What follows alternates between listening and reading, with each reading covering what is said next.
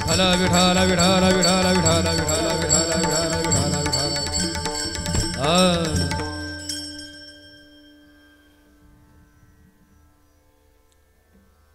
नेहमीप्रमाणे मी प्रश्न विचारतो कीर्तनाच्या सुरुवातीला पण थोडा आज वेगळा विचारतो.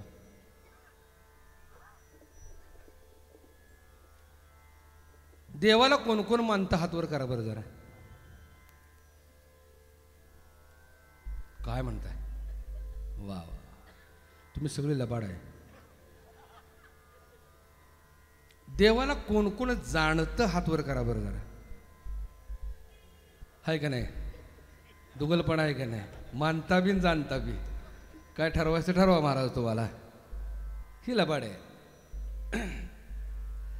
देवाला मानणं वेगळं आणि जाणणं वेगळं. मानणारा बुद्धीतून मानतो जाणणारा हृदयातून जाणतो.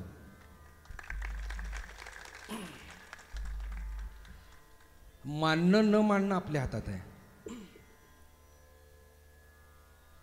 समजून घ्या. भक्ती आणि ज्ञान. ज्ञान पाहिजेच. थोडासा तानपुरा कमी कर बाळा. ज्ञान पाहिजेच. पण ते कसं पाहिजे? भक्तिप्रेमाविण ज्ञान नको देवा अभिमान नित्यनवातया माझे. कोण म्हणतं ज्ञान नको? ज्ञान पाहिजेच.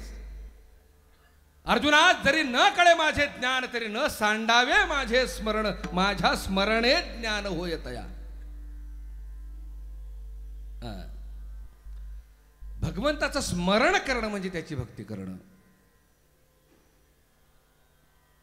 ज्ञानातला आणि भक्तीतला फरक सांगतो.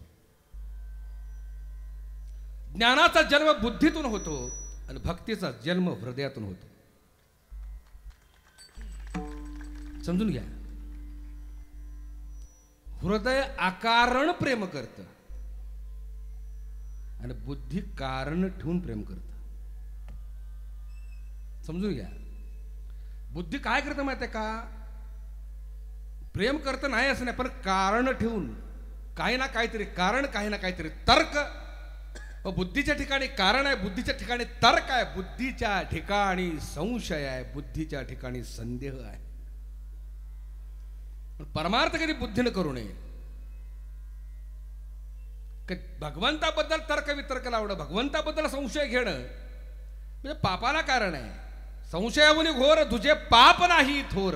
हे विनाशाचे वाघोर प्राणी आहे समजून घ्या. पण परमात्म्याबद्दल संशय नको. म्हणून सर्व संत महात्म्याने सांगताना सांगितले. काय सांगितले? अष्टभोग भोगणे माते नाही चाड अ भक्ती प्रेम गोड लेगी लेगे माये अ किती शिकवाल मज वेळ वेळा मी तव गोवळा यातील या का माऊलीनं गोड सांगितलं? मला बाकी अष्टभाव नको ज्ञान नको काही नको. फक्त एक गोष्ट. अ, भक्ती प्रेम. अच्छा अभंगाची सुरुवातच तशी एवढा प्रभू भावे ज्ञाने नाही म्हटलं त्यांनी. भावे. दुसरा मार्गच नाही. समजून घ्या. ज्ञान कशासाठी प्राप्त करावं? त्याला समजण्यासाठी त्याला जाणण्यासाठी ज्ञानाचा अर्थ काय माहिती आहे का? ज्ञानाचा अर्थ म्हणजे पाठांतर नव्हे ज्ञानाचा अर्थ आहे माहिती फक्त माहिती. हम्म. समाजामध्ये तीन प्रकार आहेत. परमार्थ करत असताना समाजामध्ये तीन प्रकार आहेत. पहिला जो तो बद्ध आहे. उगीच कारण नाही संबंध नाही विचारायचा पण प्रश्न विचारायचा त्याला बद्ध म्हणतात.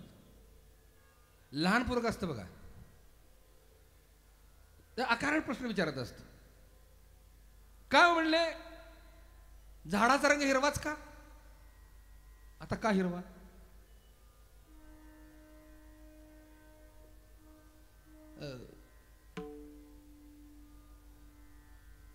अनेक प्रश्न विचारत असतात. अकारण गरज नसताना. बरं त्या प्रश्नातनं उत्तर मिळो अगर न मिळो.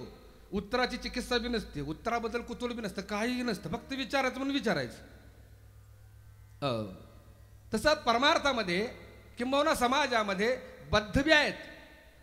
उगीच देवाबद्दल प्रश्न विचारायचा. त्यातनं अर्थ उत्तर मिळो अगर न मिळो. पण प्रश्न विचारायचं. एवढं खरं. त्या प्रश्नातनं काही प्राप्त व्हावं. उत्तराची बी अपेक्षा नाही मिळाले मिळाले नाही मिळालं नाही मिळालं. कुठलंच कुतूहल नाही काहीच नाही. हा झाला बद्धातला प्रकार. हम्म. दुसरा आहे तो जिज्ञासू आहे. प्रश्न विचारतो. तो कशासाठी विचारतो? ज्ञानासाठी. तो प्रश्न विचारतो कशासाठी? बुद्धीच्या समाधानासाठी. तो प्रश्न विचारतो कशासाठी? ज्ञान साठवण्यासाठी त्याला जिज्ञासू म्हटलेलं आहे. जिज्ञासू या शब्दाचा अर्थ किती गोड आहे बघा. जीवनामध्ये ज्ञानाची आस लावून धरणारा जो आहे त्याला जिज्ञासू म्हणतात. फक्त ज्ञानापुरतच मर्यादित त्याच्या पुढे नाही. फक्त ज्ञान. ज्ञानाची साठवणूक करणं. हो.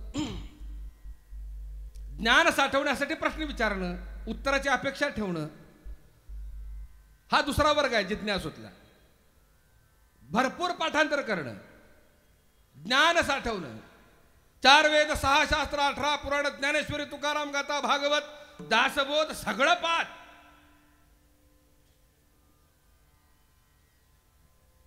आउटपुट काहीच नाही.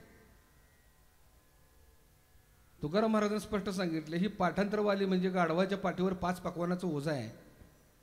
नुसतं वागवायचं खायचं नाहीच. खाण्याचा अधिकारच नाही. गाढवाला काय पाच पकवानात खाण्याचा अधिकार आहे का? नुसतं ते वागवायचं काम करत असतं. तसं जिज्ञासूवाल्यांचं आहे. कुतूहलन प्रश्न विचारणं प्रश्नाचं उत्तर अपेक्षित आहे पण कशासाठी? बुद्धीच्या समाधानासाठी. तिसरा जो आहे तो मुमुक्षु आहे. हम्म. तो प्रश्न विचारतो. पण तो प्रश्न विचारत असताना उत्तराच्या अपेक्षेने विचारत नाही. कारण हिचा प्रश्न असतो तो जीवन मरणाचा. समजून घ्या. उत्तराची अपेक्षा असतेच असते पण त्या उत्तरातून जीवन मरणाचा प्रश्न सुटला पाहिजे. परमात्म्याबद्दलचा प्रश्न सुटला पाहिजे. नेमका देव म्हणजे काय याच्याही पुढे जाऊन नुसतं मला देव नको आहे तर देवाची अनुभूती पाहिजे. ही ज्याच्याकडे लक्षण आहे तो लक्षण म्हणजे कोण आहे? तर मुमुक्षू. हम्म. त्याच्याकडं भक्तीचं बळ असतं त्याच्याकडं प्रेमाचं बळ असतं. मुमुक्षू प्रेम करताना हृदयातून करतो. मी मगाशी सांगितले. प्रेम आणि हृदय अत्यंत जवळचं समीकरण आहे. फार जवळ समीकरण आहे. काय म्हणते म्हणतात? डोळसपणानं प्रेम करावं. म्हणजे बुद्धी आली. जे हृदयातनं प्रेम करतात ना ऊच नीच पाहत नाहीत गरीब श्रीमंत पाहत नाहीत ज्ञानी अज्ञानी पाहत नाहीत एकदा प्रेम जडलं जडलं. जडलं जडलं. का? सुरुवातीला सांगितलं अकारण. कारण ठेवून बुद्धी प्रेम करते. पण अकारण हृदय प्रेम करतं. बघा मुमुक्षूची अवस्था काय असते? वाळवंटामध्ये हा एकटा चाललेला आहे. पाय भासतायत. ऊन मी म्हणते. तहान लागली. मी काय म्हणतोय का तहान लागली. कडकडून तहान लागली. हो पाणी जर मिळालं नाही तर मरण आहे. म्हणून तो पाणीच्या शोधाला लागला. त्या वाळवंटामध्ये एका झोपडीमध्ये त्याला पाणी दिसलं. पळत पळत झोपडीकडे गेला. अ, त्या झोपडीमध्ये एक जण होता. बाबा मला म्हणला पाणी दे. अरे था म्हणला कशाला पाणी पितोस? हं जरा पाण्याबद्दल माहिती करून घे. तो म्हणतो जाळ तुझी माहिती मला पाणी दे. अरे वेडायच का? तसं नाही. पाणी कसं तयार होतं जरा त्याचं जरा समीकरण समजून घे. हो एच टू ओ. हायड्रोजन आणि ऑक्सिजन हे दोन्ही मिसळलं की मग पाणी तयार होतं. हायड्रोजन एक टक्का. ऑक्सिजन दोन टक्के. हे पाहिजेच त्याशिवाय पाणी तयार होतो. म्हणतो तुझं राहू दे तिकडं पहिल्यांदा पाणी दे. अर्थ कळला का? पाण्याबद्दलचं ज्ञान नको आहे त्याला. त्याला पाणी पाहिजे. तसं देवाबद्दलचं ज्ञान नको आहे. मला देव पाहिजे. समजून घ्या. का बुद्धी ही फक्त उत्तराची अपेक्षा करते? समजून घ्या. माहितीची अपेक्षा करते ज्ञानाची अपेक्षा करते. हृदय त्यालाच प्राप्त करून तोच व्हावं ही आशा बाळगते लक्षात ठेवा.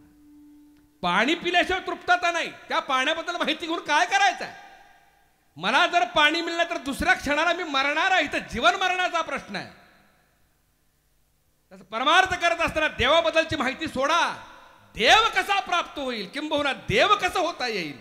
हो ह्याला ज्याला असला याची ज्याला असं लागली तो खरा भक्त आहे. विठल